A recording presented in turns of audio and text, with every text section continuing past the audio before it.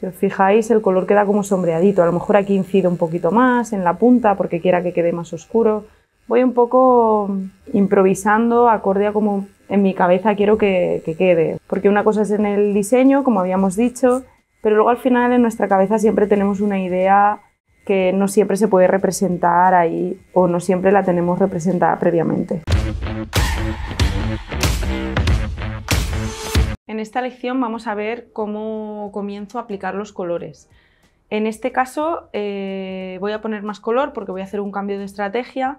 Dije que iba a centrarme más en la zona central, pero eh, como la zona de la axila hemos comentado que es un poquito sensible, voy a empezar con el fondo. Voy a hacer el fondo.